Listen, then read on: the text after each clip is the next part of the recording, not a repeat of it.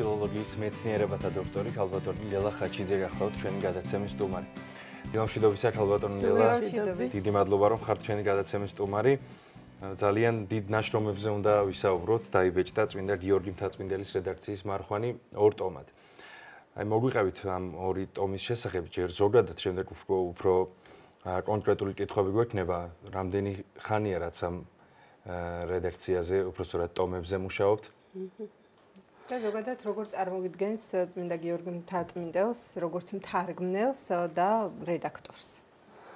პირველ ყოვლისა დიდი მადლობა მოწვევისათვის და ამ საშუალებისათვის, რომ ვისაუბროთ ჩვენი ეკლესიის ამ უდიდესი წარმომადგენლის შესახებ.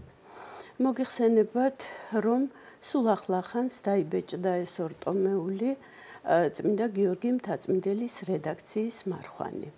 პირველ ყოვლისა აღნიშნოთ, რომ ეს წიგნი ეძღვნება უწმინდესისა და უნეტარესის სრულიად საქართველოს კათოლიკოს პატრიარქის ილია მეორის დაბადებიდან 99 წლის თავს ამ საყოველთაო ეროვნულ დღესასწაულს.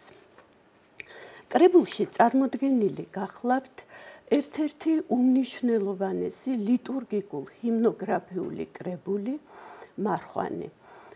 ეს კრებული მოიცავს მეხუთე მე-11 საუკუნეების ქრისტიანული პოეზიის საგანძურს, რადგანაც პირველი საგალობლები უკვე მეხუთე საუკუნიდან ჩნდება, ხოლო გიორგი მთაწმინდელი ამ კრებულის შემდგენელი მე-11 საუკუნის მეორე ნახევრის მე-11 საუკუნის მოღვაწე 1900-1065 წლები. კრებულში შესულია ქრისტიანული ეკლესიის უდიდესი წარმომადგენლების, დიდი წმინდანების მიერ შექმნილი ასეულობით საგალობელი. რომანოს მელოდოსის, იოანე დამასკელის, კოზმა იერუსალიმელის, თეოდორე სტუდიელის, ანდრია კრიტელის, იოსებ მგალობლის, თეოფანე გამომეტყველის, აი ყველაზე დიდი სახელები, რაც კი აქ ქრისტიანულ ეკლესიაში, მათ მიერ შექმნილი სულიწმინდის მიერ შთაგონებული საგალობლები. ამ კრებულზე მუშაობა დაიწყო უკვე 4 წელზე მეტია. მას შემდეგ, რაც ხელნაწერთა ეროვნულ ცენტრში ახლა ასე ქვია ამ დაწესებულებას ჩავირიცხე ასპირანტურაში.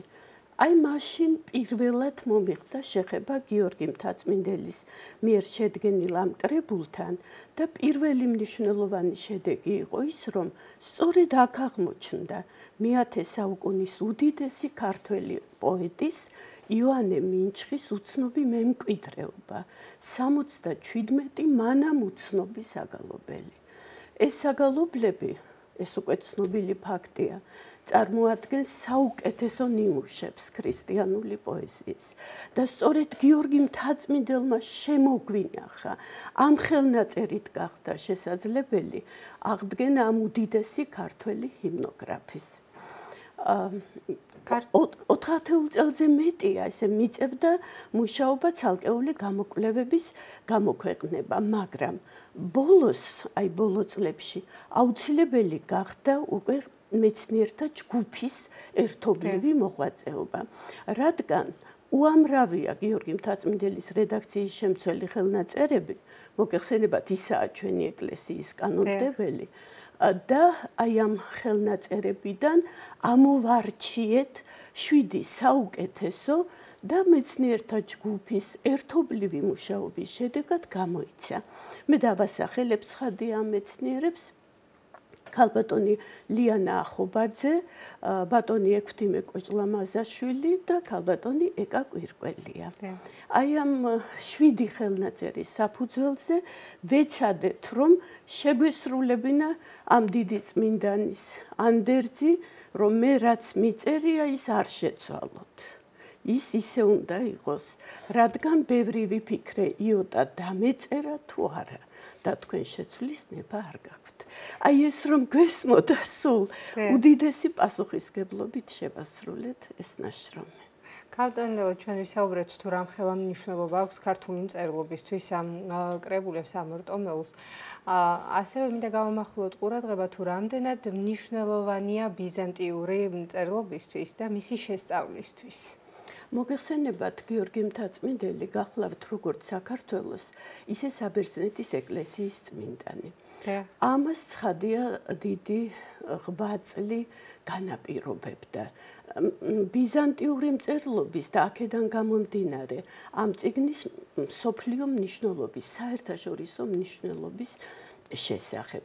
გიორგი მთაწმინდელის მუშაობის მეთოდი ცნობილია ქართულ სამეცნიერო ლიტერატურაში, სხვა კრებულებზე მუშაობისაც, რაც დადასტურდა ცხადია აქაც.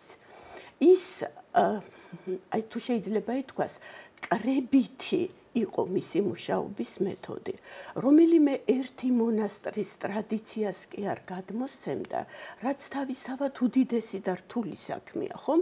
მე-11 საუკუნეში ქრისტიანული ეკლესია განვითარების მწერვალზეა.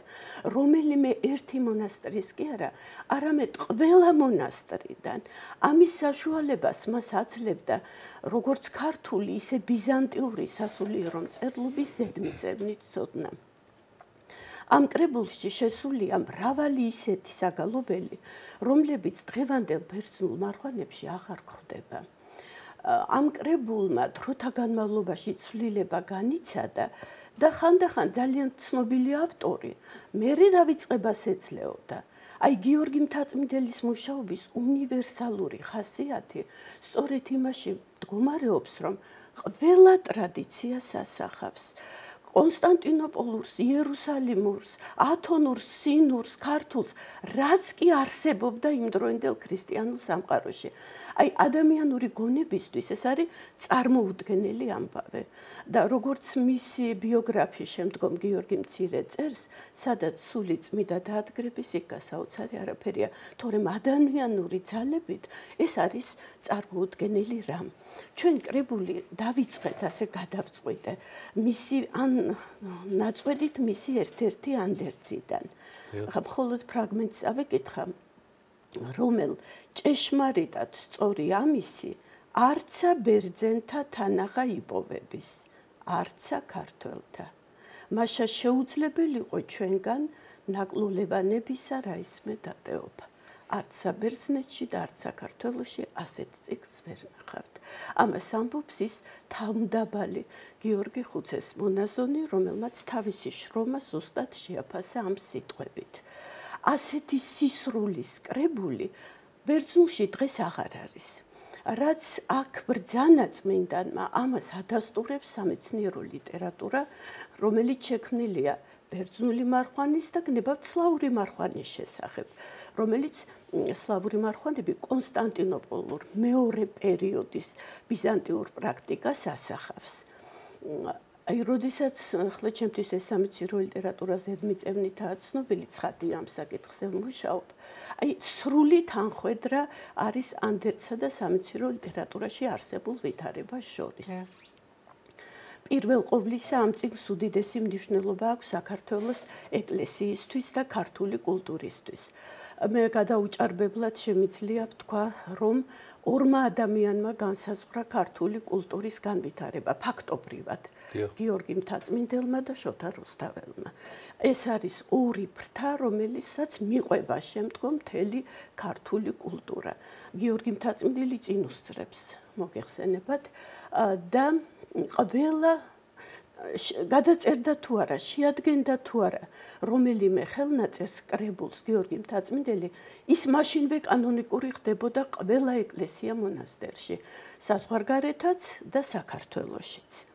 მე უკვე მოგახსენეთ, რომ მას უდიდესი დამსახურება აქვს იოანე მინჩხის შემოქმედების გამოვლენისათვის.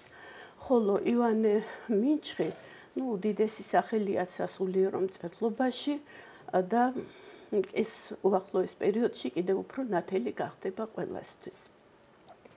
და ასევე თანაბრად მნიშვნელოვანი ბერძნული მარხვანებისთვის ბერძნული ლიტერა ბიზანტიური ლიტერატურის კვლევისათვის, რადგან თვით ისეთი ცნობილი ავტორიც კი, აი რომანოს მელოდოსი, რომლის შესახებ უკვე უამრავი ნაშრომია დაწერილი სხვადასხვა ენაზე. აი ამ კრებულმა შესაძლებლობა მოგვცა, რომ მისი უცნობის აგალობელი გამოგვევლინა. ეს ინგლისურადაც დაიბეჭდა და ყველასთვის ცნობილია. არა, აი ათენში დაიბეჭდა სწორედ ახლა ამის თქმა მინდოდა ამ წელს მა ძალიან ღრმად მეცნიერულ აკადემიურ გამოცემაში საბერძნეთის მეცნიერებათა აკადემიის, რომელიც ყველა ქვეყანაში ვრცელდება, ნიშნულობა გიორგი მთაწმიდელის მარხვანის ბერძნული ბიზანტიური ლიტერატურის ისტორიისთვის.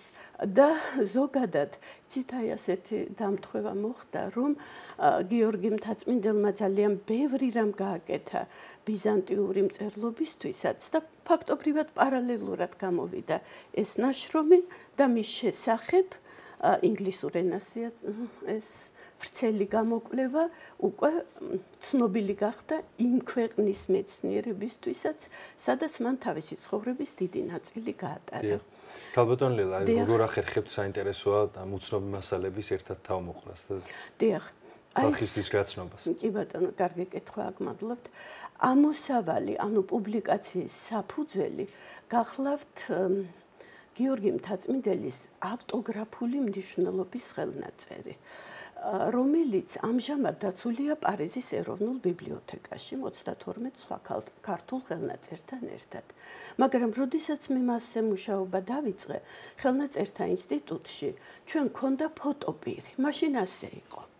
ფოტოპირი და არ შემიძლია არ აღნიშნო, ჩამოტანილი გახლდათ ჩვენი კულტურის ძალიან დიდი მოამაგის ბერნარ უტეს მიერ, რომელმაც ბევრი სხვა რამეც გააკეთა ჩვენი ქვეყნისთვის.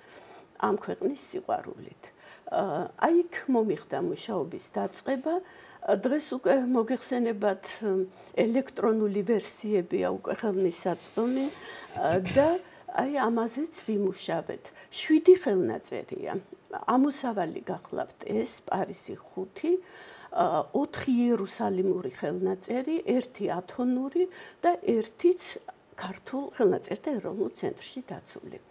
ამ შვიდივე ხელნაწერისა, რა თქმა უნდა, როგორც ხდება სულ-ასო-ასო შედარებით, დეტალურად შედარების შედეგად აღვადგინეთ პირვანდელი სახე ამ კრებულის.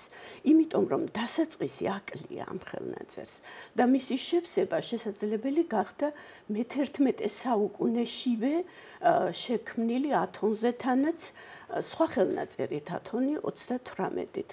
იმ ხელნაწერმა ბევრი სხვა სიახლეც მოიტანა, რომელიც ამ კრებულს არ უკავშირდება და თუ საშუალება იქნება და სურვილი გექნებათ, გესაუბრებით იმასეც. ორი წუთით თქვათ კი გვაქვს დრო კავტონილა. იცით აი იმისოთ რომ დიახ ეს ამ ხელნაწერს არ უკავშირდება, მაგრამ საინტერესო ფაქტი კი გამოჩნდა. აი 1038-ს 10 მეორე 10 ხელნაწერს გადამწერის ანდერძი აქვს დართული, სადაც წერია რომ ეს ციგნიო ამაზეა საუბარი და ორი კიდევ სხვა კრებული. ყურსალთა წარიღესო და მეო გიორგი ციხისჯვარელმა წერს ანდერძის ავტორი შევისყიდე ყურსალთაგანო და დავუბრუნე პორტაიტისასო ანუ ათონის ქართველთა მონასტერს. მე ასეთი ჩვევა მაქვს რამე რომ არ მესმის ვეძებ იმას ეს ბუნებრივია და ყურსალი დავიწყე ამ სიტყვის ამ ტერმინი იყო აშკარად ძიება. არც ერთ ქართულ ლექსიკონში ის არ არის. არც ულხან საბასთან ილია პულაძესთან სარჯოლაძესთან არ არის. და რას უნდა ნიშნავდეს ეს ტერმინი? ну ჯერ ვთქვათ სხვა ირანისტებს დავეკითხე. ბოლოს გაირკვა რომ ეს არის მომთაბარე ხალხი ახლა აღარ მიყვები ძალიან შორს სად იყვნენ ისინი ჩვენს მეზობელ ტერიტორიაზე როგორც ჩანს. მაგრამ თურქული წარმოშობის რომლებიც აი ასე იქ ასეთ საქმიანობას ეწეოდნენ, ხელნაწერებს იტაცებდნენ, მე რემათ გამოისყიდნენ, გამოისყიდნენ ხოლმე ჩვენი წინაპრები. ერთი სიტყვით აღმოჩნდა უცნობი ტერმინი, უცნობი ფაქტი, რომ ათონზე აი ეს ხალხიც, ასე ვთქვათ, ბრჭყალებში თავის მოღვაწეობას ეწეოდა და ის სწორედ ამას უნდა ნიშნავდეს თურმე ეს ტერმინი. გიორგი მთაწმიდელი ამ მარხვანზე მუშაობდა დიდი ხნის მანძილზე, მას ეს ჩვევა ქონდა. სხვა ხელნაწერების შესწავლამაც აი სახარების ტექსტმა. სახარების ტექსტმა საჩვენა, რომ ეტაპობრივად მუშაობდა, სანამ ეს სრულყოფილი ვერსია შეიქმნებოდა, მას შეუდგენია მოკლე მარხვალი, რომელიც სხვა ათონურ ხელნაწერში 1059-ში ბევრად მოკლე ამაზე და იმ დროს როცა ჯერ კიდევ არ ქონდა ნათარგმნი ფსალმუნები და ანდრია კრიტელის დიდნი გალობანი. ეს შესანიშნავი საგალობელი ჩვენს ამ კრებულში რომელიც ჩვენ გამოვეცით მან შეადგინა რა თავარი ეს არის რომ მან შეადგინა. ორი რედაქციით არის ჩვენამდე მოღწეული. ექვთიმეს თარგმანიც და მისიც. ანუ როცა ის თვლი და საჭიროდ წინადროინდელ თარგმანებსაც წარმოადგენდა ხოლმე სრულყოფილად. ძალიან დიდი მადლობა რომ აკეთებთ უდიდეს ქართულ საქმეს, ხალბატონ ლელა. წარმატებებს გისურვებთ და დაგემშვიდობებით. მადლობა. ფილოლოგიის მეცნიერებათა დოქტორი ხალბატონი ლელა ხაჩიძე იყო ჩვენი გადაცემის სტუმარი.